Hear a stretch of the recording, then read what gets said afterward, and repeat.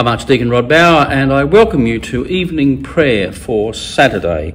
The psalm will be Psalm 78, and the reading is from Colossians chapter 2.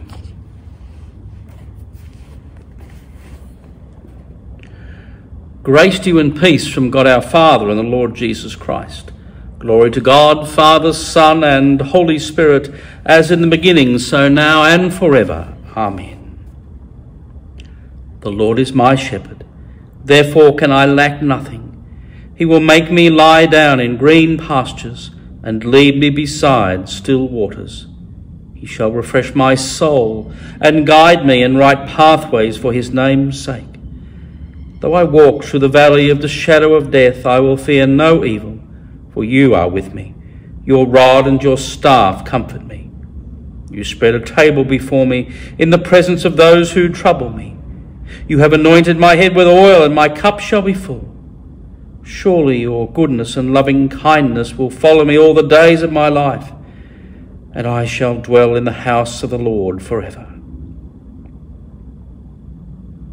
The day is now past, and the night is at hand. Let us pray with one heart and mind.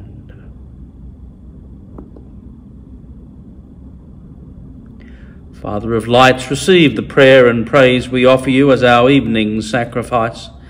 Make us a light for all the world, delivered by your goodness from all the works of darkness. Through Jesus Christ, your Son, our Lord. Amen. Psalm 78.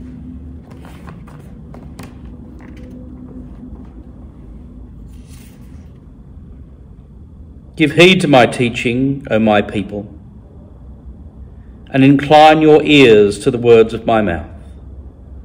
For I will open my mouth in a parable and expound the mysteries of former times, what we have heard and known, what our forebears have told us. We will not hide from their children, but declare to the generations yet to come the praiseworthy acts of the Lord, his mighty and wonderful works. He established a law in Jacob and made a decree in Israel, which he commanded our ancestors to teach their children, that future generations might know, and those yet unborn, that they in turn might teach to their children so that they might put their confidence in God and not forget his works, but keep his commandments, and not be as their forebears, a stubborn and rebellious generation, a generation that did not set their heart aright, whose spirit was not faithful to God. The children of Ephraim, armed with a bow, turned back in the day of battle. They did not keep God's covenant. They refused to walk in his law.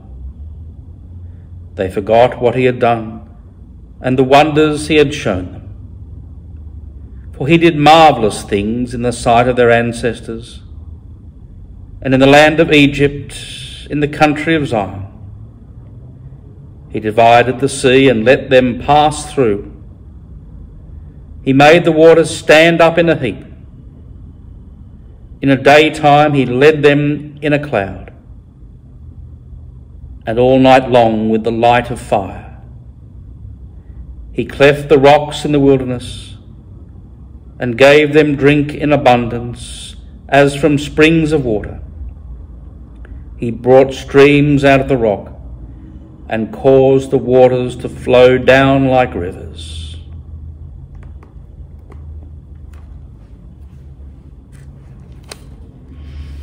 Lord Christ, eternal Word and light of the Father's glory, send your light and your truth that we may both know and proclaim your word of life. To the glory of God the Father, for you now live and reign, God, for all eternity.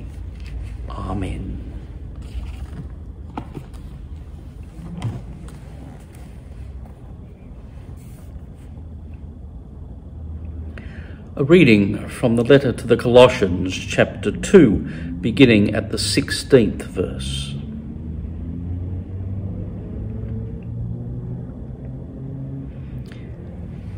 Therefore, do not anyone let anyone condemn you in matters of food and drink, or of observing festivals, new moons, or Sabbaths.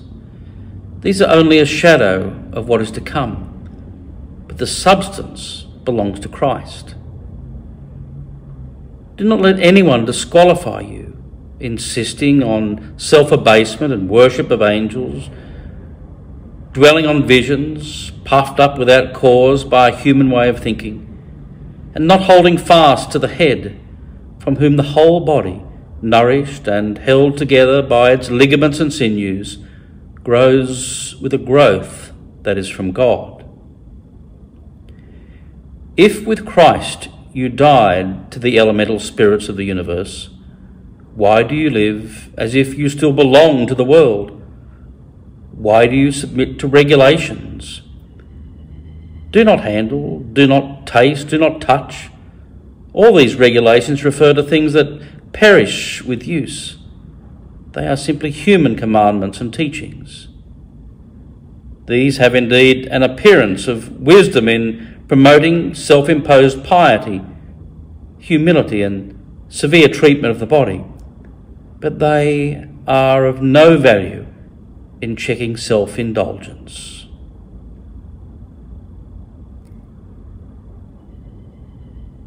May your word live in us and bear much fruit to your glory.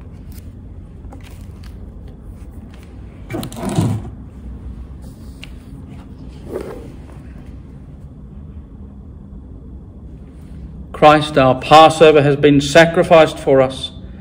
So let us celebrate the feast, not with the old leaven of corruption and wickedness, but with the unleavened bread of sincerity and truth. Christ, once raised from the dead, dies no more. Death has no more dominion over him. In dying, he died to sin once for all. In living, he lives to God. See yourselves, therefore, as dead to sin and alive to God in Jesus Christ our Lord. Christ has been raised from the dead, the first fruits of those who sleep. For since by one man came death, by another has come also the resurrection of the dead. For as in Adam all die, even so in Christ shall all be made alive. Lord, have mercy. Christ, have mercy. Lord, have mercy. Our Father in heaven, hallowed be your name. Your kingdom come, your will be done on earth as in heaven. Give us today our daily bread. Forgive us our sins as we forgive those who sin against us. Save us from the time of trial and deliver us from evil. For the kingdom, the power, and the glory are yours, now and forever. Amen. Generous God, whose hand is open to fill all living things with plenteousness, Make us ever thankful for your goodness. Grant that we, remembering the account that we must one day give, may be faithful stewards of your bounty. Through Jesus Christ our Lord. Amen. Let us pray.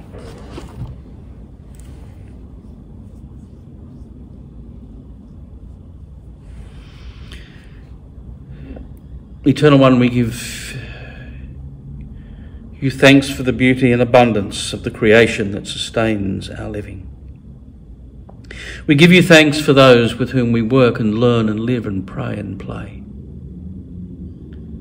But above all, we give you thanks for Jesus the Christ, for his life and teaching that guide us on our way, for his dying and rising again that make us one with you.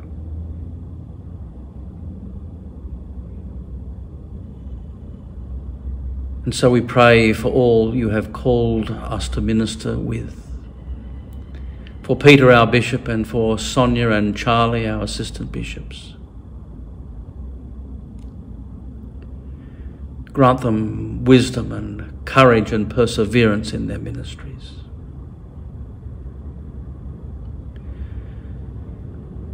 We pray for all who prepare to lead worship this weekend whether in person or on various platforms of media. Inspire their words that they may touch the hearts of many and draw many souls to you. We pray for Scott, our Prime Minister. We pray for the National Cabinet and for the people of Victoria as numbers begin to grow. We pray that as we begin to tread the path out of lockdown, you may grant people wise hearts to discern what is safe and what is unsafe, that you may protect the vulnerable and guide the unwise.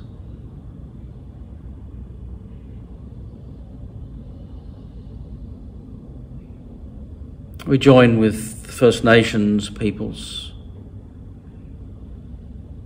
as we pray for a deep sense of reconciliation.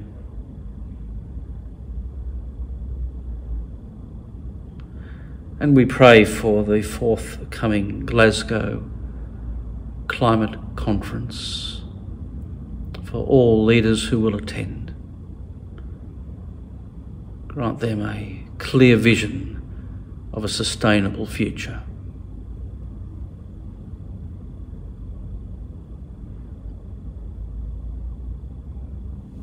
And we ask all this in Jesus' name. Amen. Come to visit us, Lord, this night, so that by your strength we may rise at daybreak to rejoice in the resurrection of Christ your Son, who lives and reigns for ever and ever. Amen. The Lord be with you. Let us praise the Lord. Thanks be to God. I am the Alpha and the Omega, says the Lord, the first and the last, the beginning and the end. Even so, come, Lord Jesus. Amen.